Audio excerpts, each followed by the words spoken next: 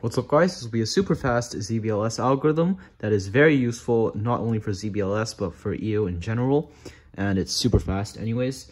Instead of solving it like this and then getting two edges, you can just do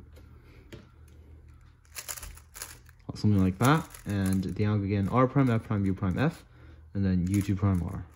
And done at full speed it will look like this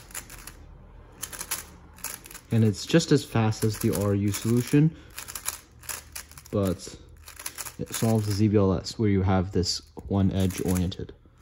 And as you can see, super fast and super easy to execute. Cross just do thumb for the first F move. That works too. Either way, very easy. So with thumb, it'll look like this. And with index, it'll look like that.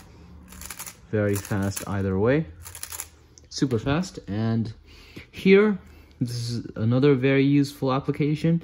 Instead of turning it up and then doing that and getting a dot, or even trying to do this into a slightly awkward back sledge, you can just do the out from before, and now you have a two-edge OLL instead of a dot. So yeah, super nice. So instead of doing this, getting your dot, you would just do that, and you don't have a dot anymore.